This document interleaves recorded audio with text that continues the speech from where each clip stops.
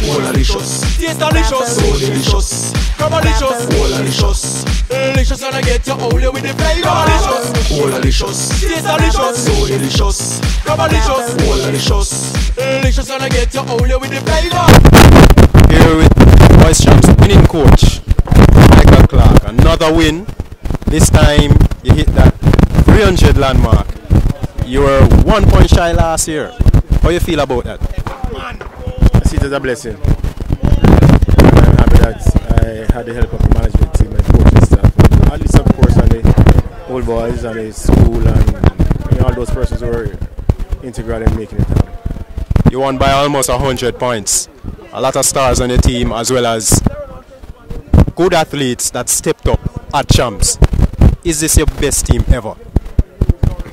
I've had so many teams I can't remember comparatively which one is. But it's a good team, an all-round team, and I'm glad they came through when it mattered most. Even though we had some mishaps that um, one, well, it, it appeared as if they were, it was going to fold a bit, but we got up, brushed ourselves off, and we, we got going. The response is testimony to how strong the team is. But the foul-ups, Calabar fans were a bit scared. What happened there? I, some of it is unex, unexplainable or inexplainable. Um, I don't know. I don't know. It's one of those phenomena that you that occurs in a championship. You just you just can't put a, a, a, definition or a meaning or an explanation. But it happens, and but we, we're glad that um, it wasn't too serious that we couldn't recover. You're always circumspect about you know making predictions, and that is a reason why because the unpredictability of champs. But the middle distance program, I uh, spoke to you a couple years ago when you just came to Calabar, and you said one of the main things that has to change is the middle distance program. How you feel now? I mean, you have Belafonte, has won a couple of years at champs. This year, Rajay Hamilton is a double winner, 800 and 1500. A lot of points in the middle distance. How proud are you? Extremely happy, and uh, it's not it's not a single effort on my part. It's a, a group effort in terms of the coaches and what they had to offer in terms of the attention and the suggestions and and so on. And program design has a lot to do with it. Javon Francis, you know, he had an hamstring injury earlier. You know, he, he broke the record, Usain Bolt's record in the 400.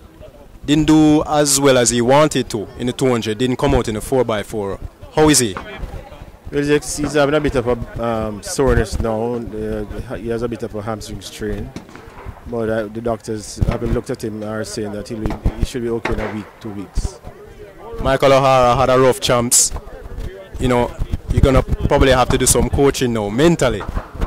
What did you say to him after the fast start? Well, to pick yourself up, dust yourself off, and made a transition from class two to class one. It's a less comforting, less relaxing um, transition than it would from class three to two. And the dominance that you experience in class two, it's going to take some time to make to, to get, get accustomed to um, the, the, the, high level of intensity and, and the, the, um, the, the, changes that he has to make mentally. And it's more mental more than anything else.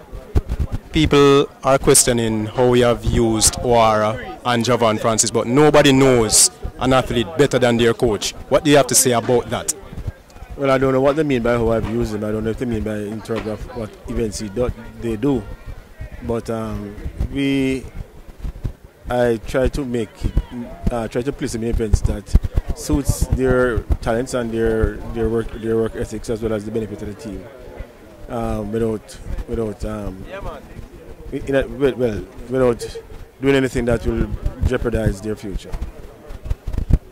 Another victory. A couple of years ago, I remember speaking to you, and you know, you say it's for the Calabar fans and the, the Old Boy Association and everything great team this year, pretty good team last year. Are you reinvigorated? Mm, it's a hard one. I love track. I'm passionate about it. And I'm passionate about setting uh, um, goals and trying to achieve it. So every year I try to move myself by trying to set goals. I guess one of the goals this year was to get Javon to break Usain's record.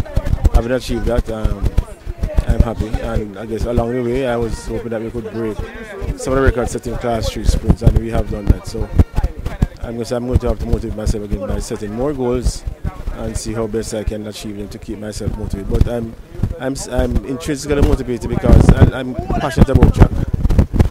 Speaking of passionate about track, Akan Track Club. Will we see Javon Francis at Akan next year? God's willing, he should be there. Okay, congrats, Michael Clarke. Again, another victory. All the best. No respect.